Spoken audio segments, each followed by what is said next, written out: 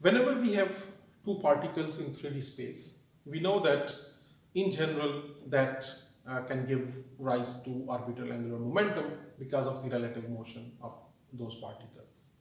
In this video, we will discuss the angular momentum squared and a component of orbital moment, uh, angular momentum in quantum mechanics.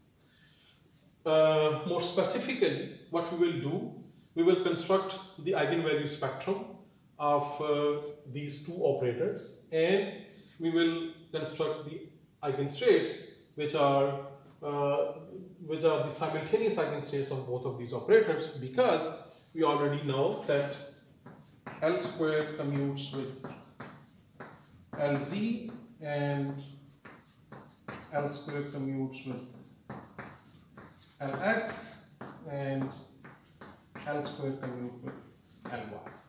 So the magnitude uh, square operator commutes with all three components uh, of the orbital angular momentum.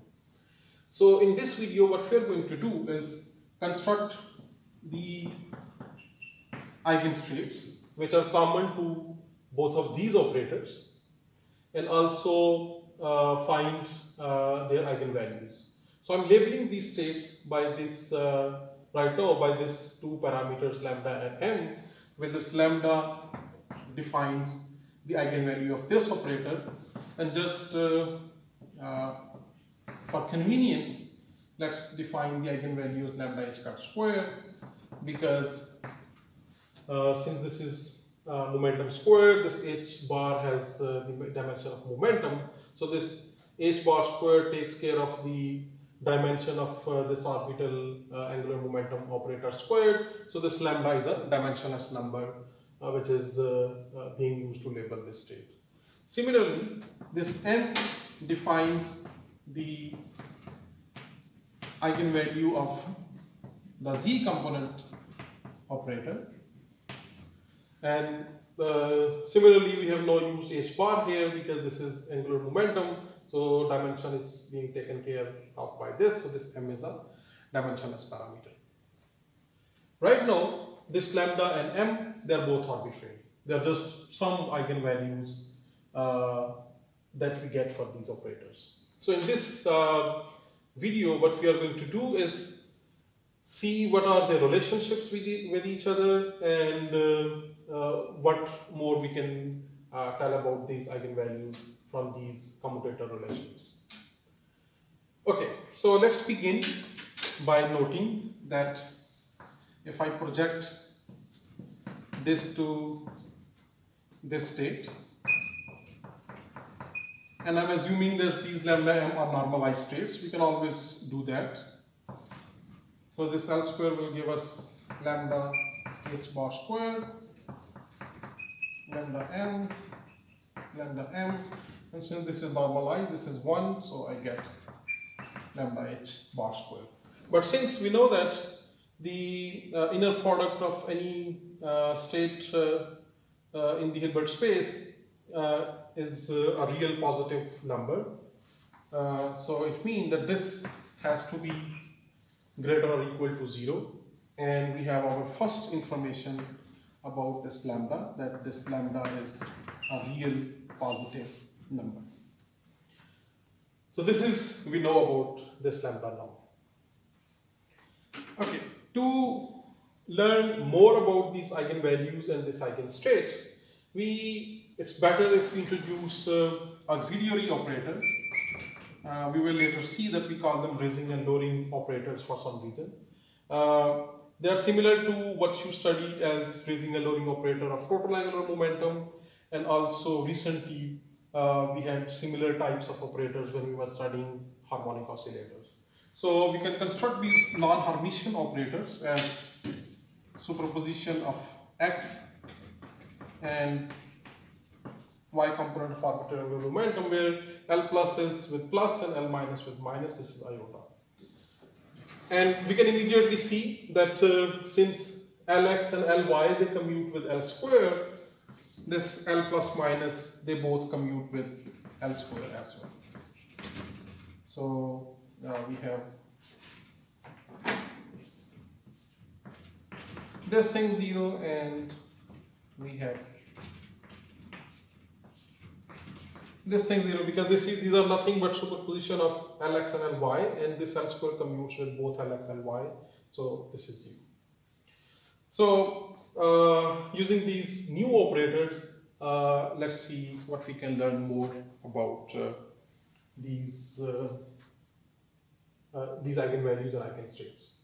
And before I do that, let me uh, notice, let me just work a couple of relations that will be useful later on. First of all, let's see what's the commutation relation of L plus minus with LZ. So LZ, L plus minus 1, let's work it out. So we have LZ Lx plus minus plus minus iota Ly. So Lz Lx plus minus iota Lz Ly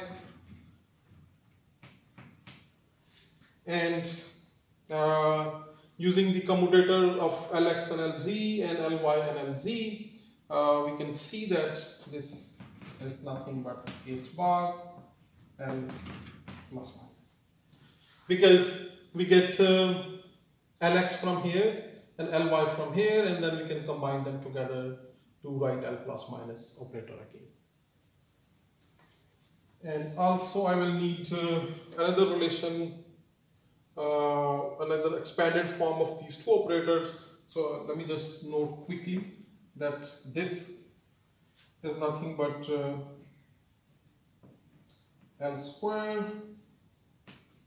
L plus minus equal to L plus L square and the lower one is nothing but L square L minus L minus elsewhere. Okay, now we are equipped with uh, all the tools. And let me just remind you, all of these things are just coming from these commutator relations that we have already found.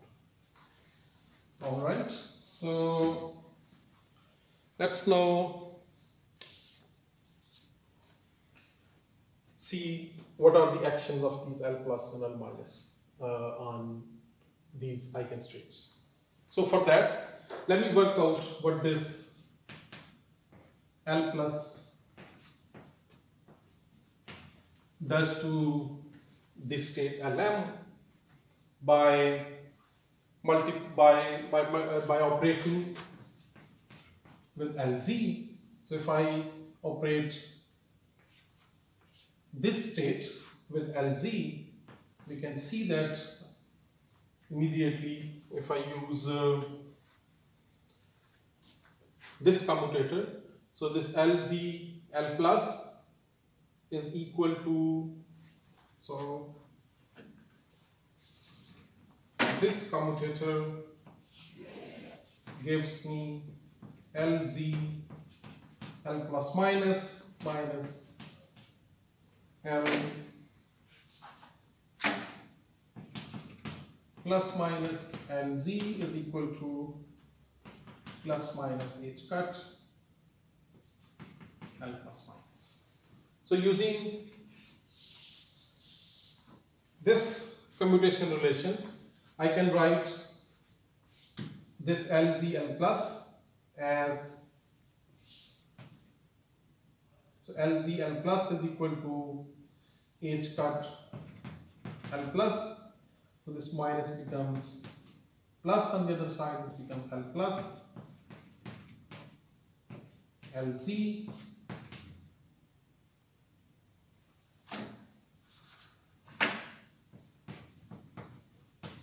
uh, so where is this L coming from? It's not L, this is lambda, sorry.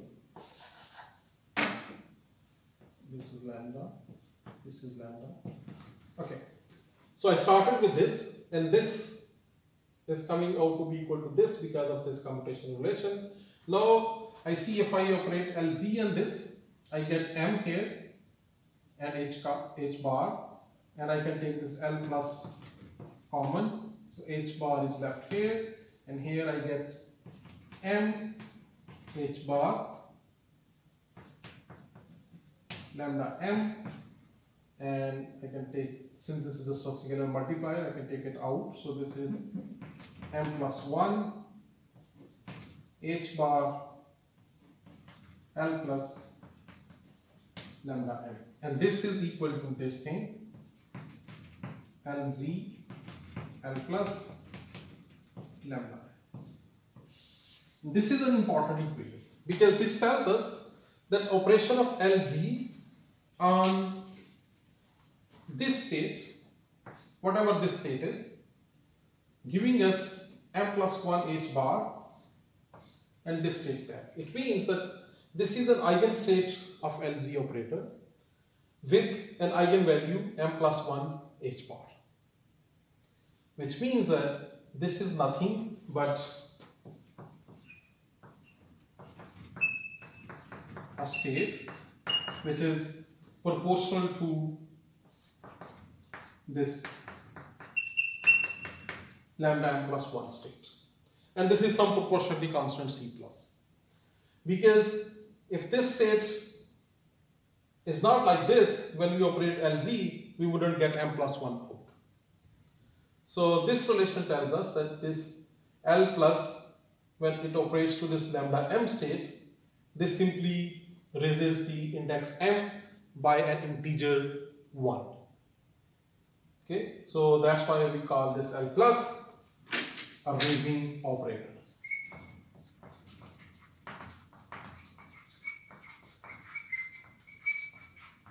Because it raises the index m by 1, whatever m is.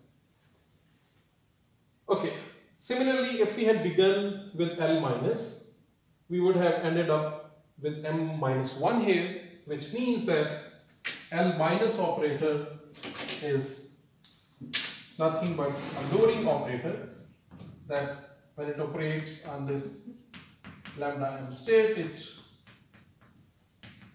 lowers the state index by 1.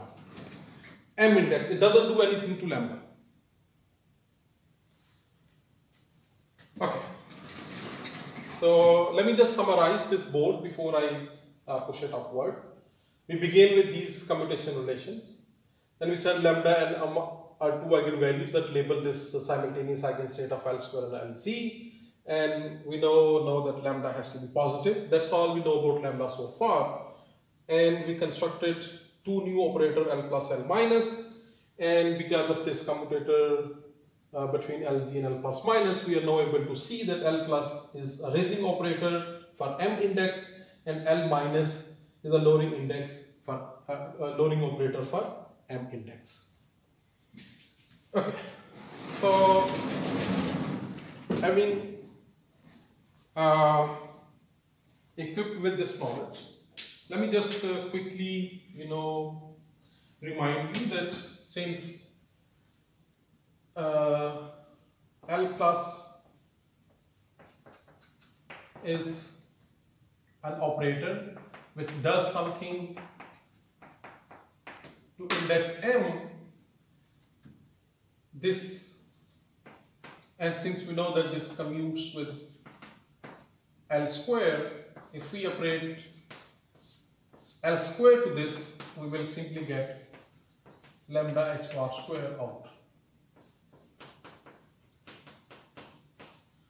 So this operator does nothing to lambda, lambda, and, and it still remains an eigenstate of L square operator because L plus commute with the uh, L plus operator. Similarly, if we had uh, an L minus on this, which would have lowered the index with some proportionality constant C minus, we would still get lambda h square over here.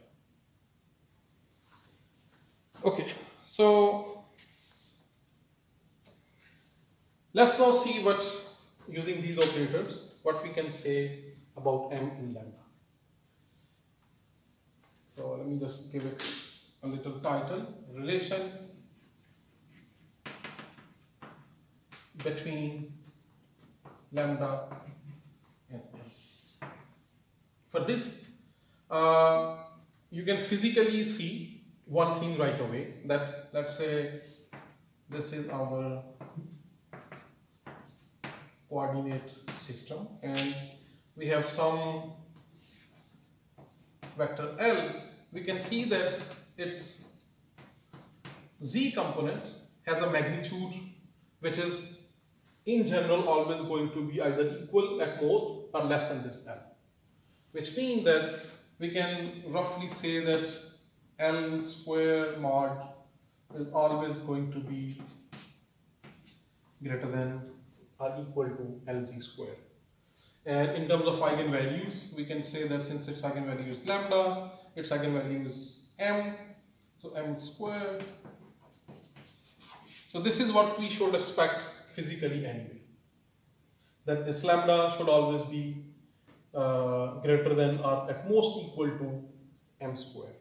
Or on the other hand, m we can say is always going to be less than or equal to lambda square root. And of course, both positive and negative values are possible because we can have the same vector on this side with a z component along negative direction. But I can actually formally drive it as well. Let's see formally. If I have some state lambda m and I operate on it this Lx square operator and Ly square operator we should always get some positive real number because when this operator operates on this thing we get uh, another state in the Hilbert space and when we take its projection on lambda m we get some positive real number. So this should always be true which means that and since this Lx square plus Ly square are nothing but L square minus Lz square and this L square will give us lambda h bar square and this Lz square will give us m square h bar square. So we have lambda minus m square h bar square greater than 0 because this lambda m lambda m will then be 1. So this also tells us the same thing as here that this lambda has to be greater than or equal to m square. So this is the first information that we know about the relationship between m and lambda. That m has to be either smaller or equal to lambda square root plus minus. Okay. Let's see what more we can say. Since we know that this L plus is a raising operator and m now has an upper limit that it can at most be equal to uh, something because there is an upper limit uh, that cannot be greater than this. So let's say let that m maximum value of m is some l. Okay, so this is some l, some real number. Uh, so let's, if this is the maximum value, it means if we have a state lambda L, we should get 0 because this is the maximum L that we can have and if we operate the raising operator, we should get 0. Now, let's, uh, from starting from this equation, let me now operate with L minus on both sides and if I operate L minus on both sides of this equation, I get this. And from here, I can put the value of L minus. L minus is Lx minus iota Ly. L plus is Lx plus iota Ly. Lambda L now, this is mx squared. This is iota iota minus 1 plus minus minus so plus ly square and then I have uh, if I take this minus iota common ly lx and this is lx ly and since minus iota is common so this is lx ly and all of this is operating on lambda l see this is nothing but l square minus lz square. And let's see what this is. This is a commutator between so let me just write it l y and x and using the commutator of LYLZ we should get h bar iota h bar lx which uh, uh, LYLZ sorry this is commutator of LYLX not LZ so this is LYLX and we know Lx Ly commutator is plus iota h bar Lz. So this would be minus iota h bar Lz. So we should get L square minus Lz square. So this is minus iota h bar Lz minus minus plus and then iota iota square minus 1. So minus h bar Lz. Now when we apply all of these operators here, we get for L square, I get lambda h bar square. For Lz square, I get L square h bar square. For Lz, I get h bar L. So this is minus h bar square L lambda. Now, on the right side, we have 0.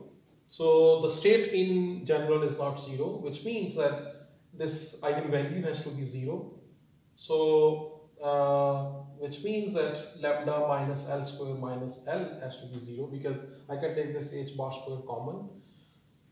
So let me use it here because this is giving me that lambda minus L square minus L has to be zero. So I can solve it easily that lambda is L square plus L. If I take L common, it's L plus 1. Okay. So now this is an important piece of information we have. We now find the value of lambda in terms of L, where L was the maximum value of M. So it means our states lambda m, I can label them as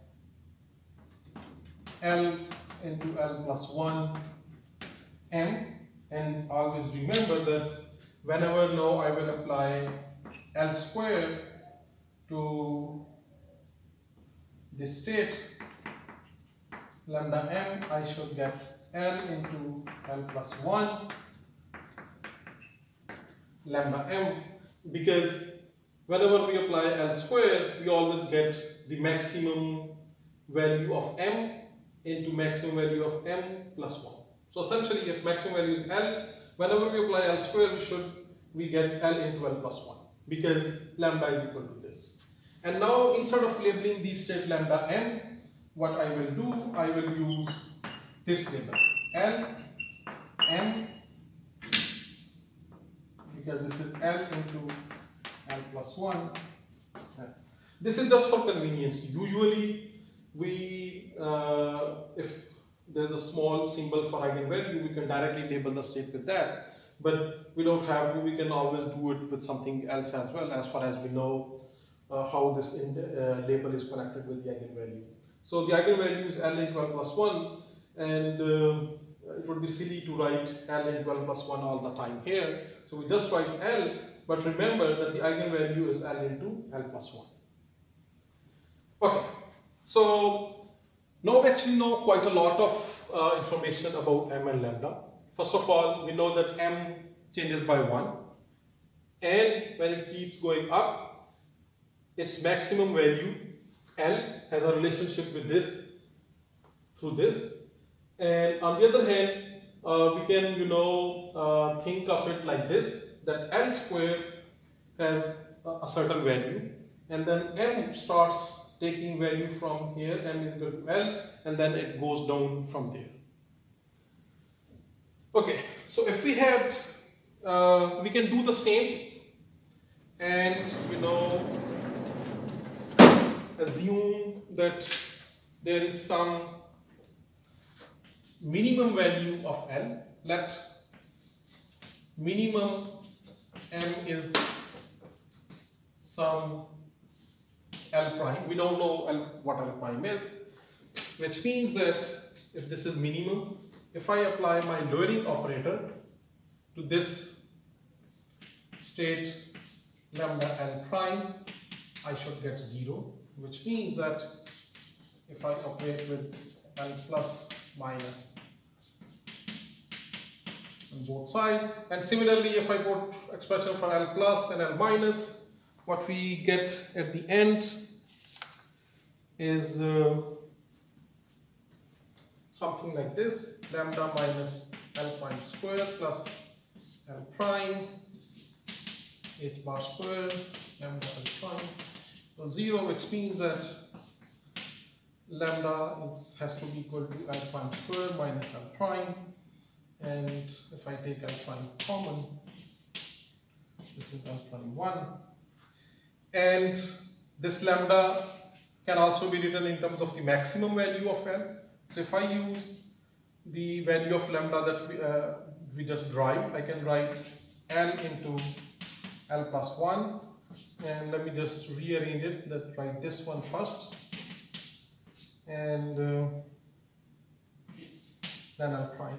So we can see that uh, there is only one solution possible for this which is that L prime is minus L because if L prime is minus L then when I add 1 uh, I get this and when I keep it as it is I get this.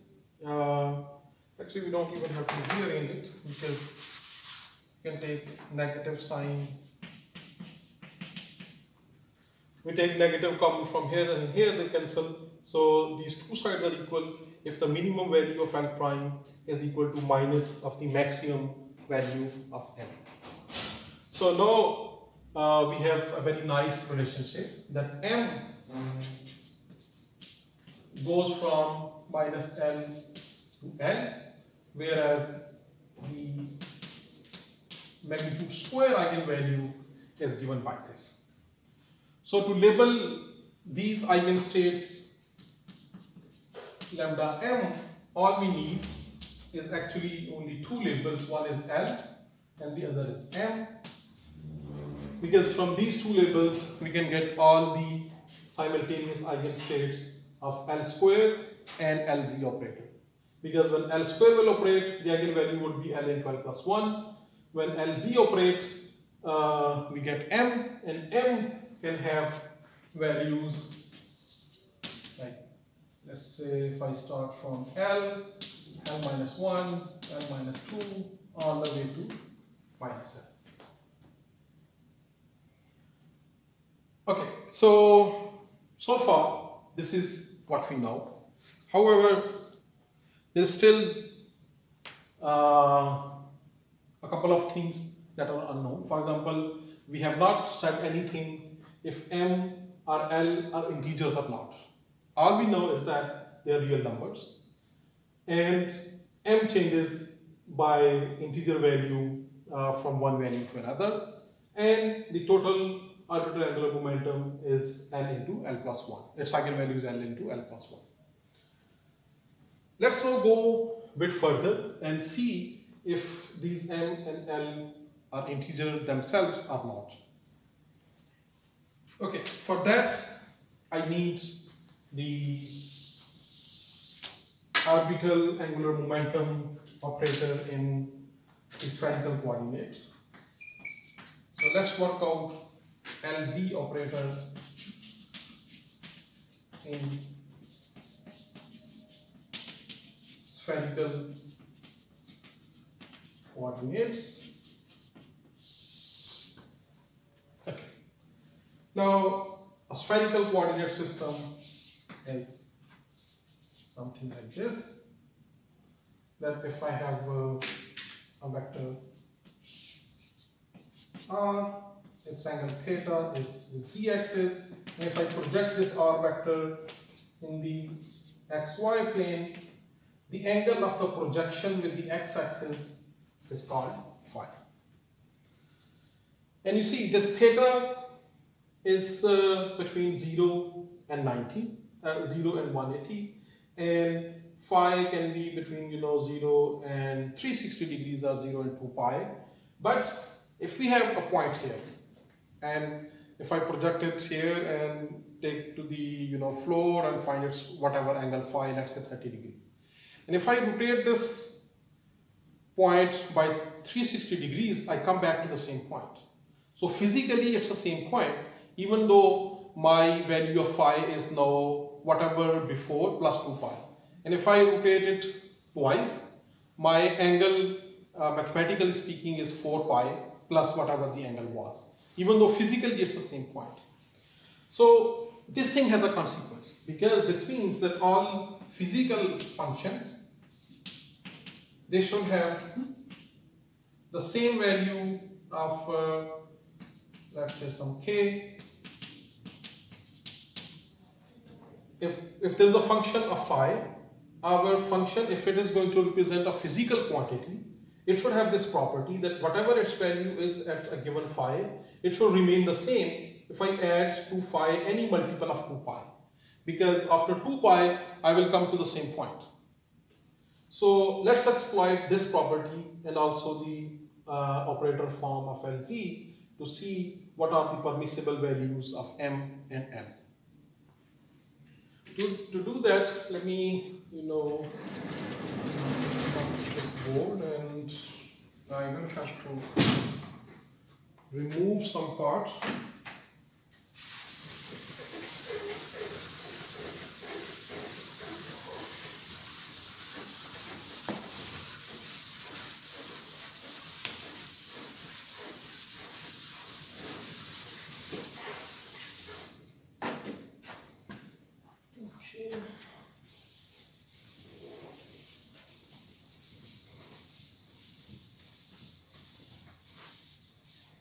All right. So to get the form of operator LZ in the spherical coordinate system, let's say we have a state psi and uh, let me introduce this notation. A state psi, we already know that if I express it in Cartesian coordinate, I can always, you know, uh, call this state uh, with a uh, state uh, with the wave function psi of x, y, z. Similarly, in Cartesian coordinates, r theta and phi, I can call this state function of r theta and phi, etc. Okay, so since rotation operator is the generator of arbitrary angular momentum, let's see what's the effect of rotation operator in spherical coordinate if I rotate a state around z-axis. So if I have a state and I rotate it around z-axis by some angle d phi, in spherical coordinate it's very simple because all it does is changes the phi angle to phi plus d phi. So it increases the angle phi little bit by d phi. Now the corresponding bra for this state is r theta phi r dagger d phi. You know what, I'm not going to write this d phi k in brackets. You should uh, always have this thing in mind. Okay, so if I if I put it on this side, I get r theta phi plus d phi. And since this is a rotation operation, it means that this is a unitary operator. That this is 1 which also means that r dagger is nothing but r inverse which means that if I now operate this state r theta phi which is nothing but r inverse which is equivalent to rotating the state backward and instead of having phi plus d phi the state is rotated a little bit backward so our angle decreases by this amount d phi. Similarly the brass state corresponding to this is this r theta phi minus d phi okay now I have these states let me rub this part also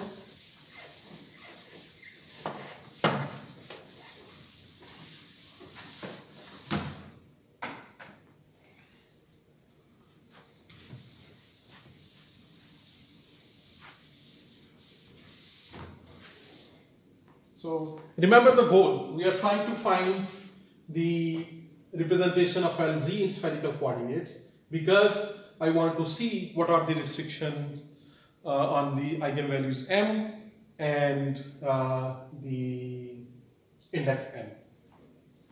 Okay, so once we have this, let me now see what's the effect of this rotation operator on a general state psi in spherical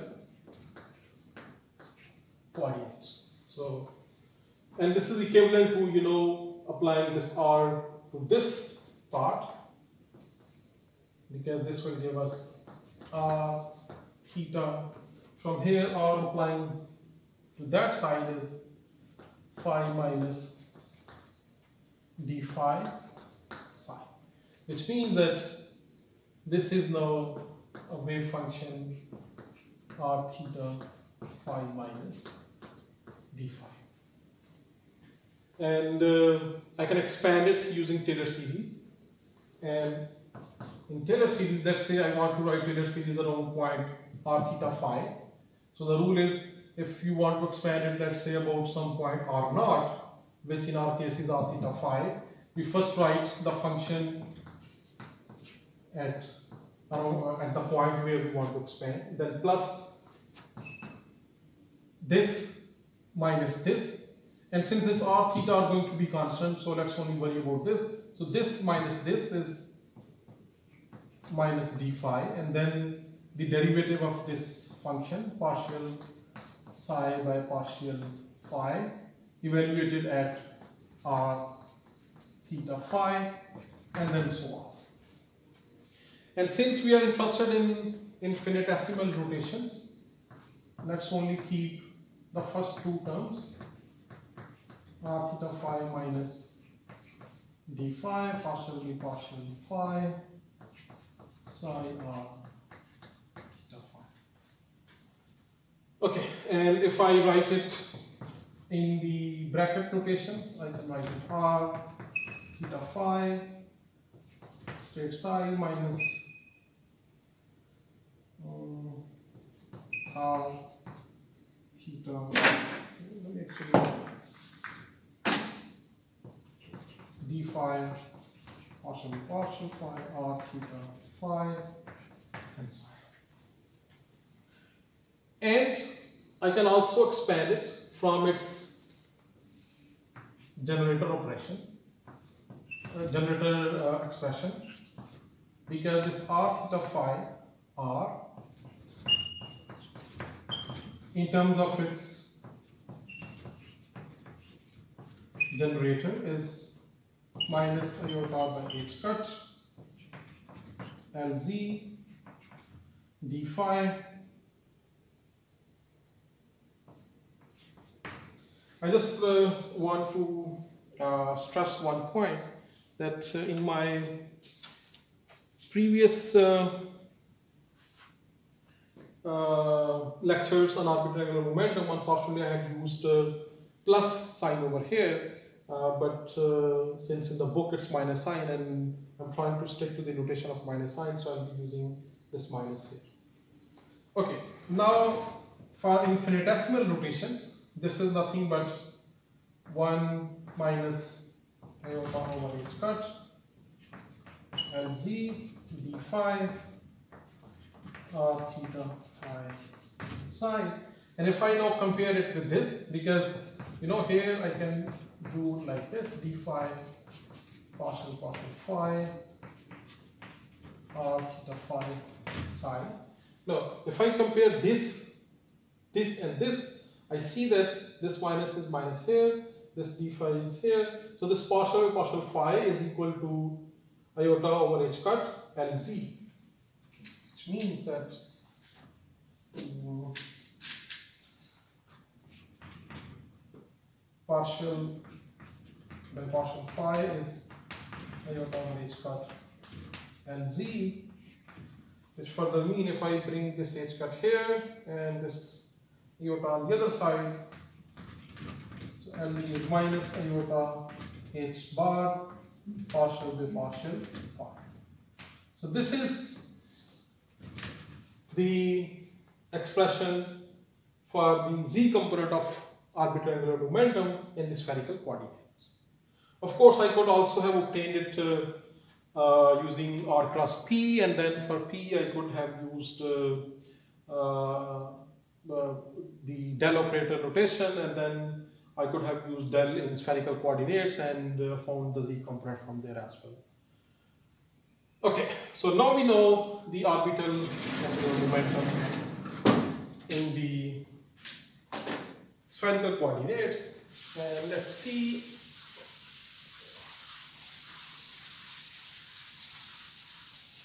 what we can say about this m and m more from this.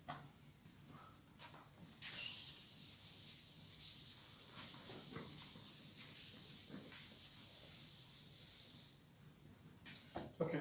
The eigenvalue equation for LZ operator was L M M H bar L